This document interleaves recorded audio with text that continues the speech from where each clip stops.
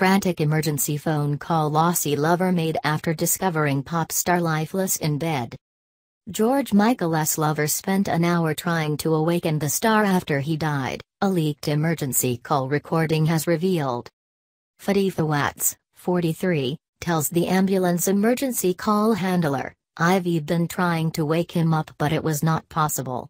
He's gone. He's blue dot. It comes as Fawaz has reportedly been banned from his funeral by the superstar's furious family, The Sun reports.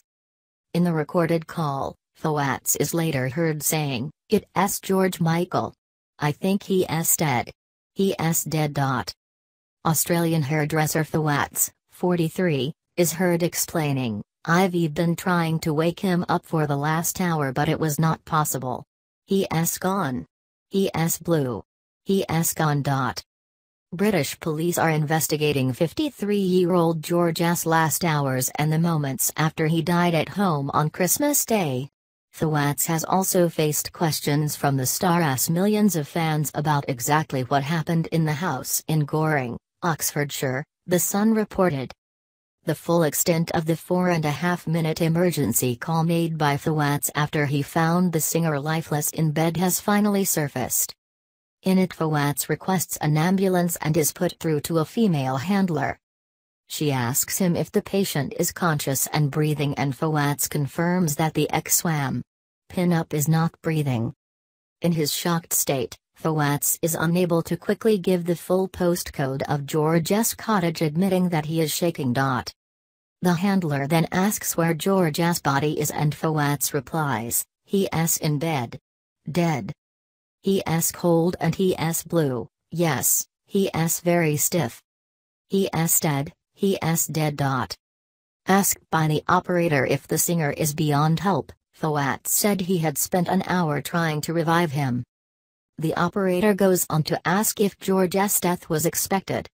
Fawaz replies, No, no, no, no, no, no, I've been waiting for him to wake him up for like, you know, for hours and he wouldn't he wake up, I went to wake him up and he was gone, you know, he's not there. Dot. Fawaz adds, it's George Michael, you know, the singer question mark. The tape is the clearest account yet of what happened after George was found dead. It appears to reveal that Fawaz waited hours for George to wake up on Christmas morning. Fawaz refused to comment when asked by The Sun about the contents of the 999 tape. He has faced repeated questions about his movements on the day George died, but there is no suggestion that he is being treated by police as a suspect. The celebrity hairstylist George's partner for several years wrote on Twitter on Boxing Day, It's a Christmas I will never forget finding your partner dead peacefully in bed first thing in the morning. I will never stop missing you 20.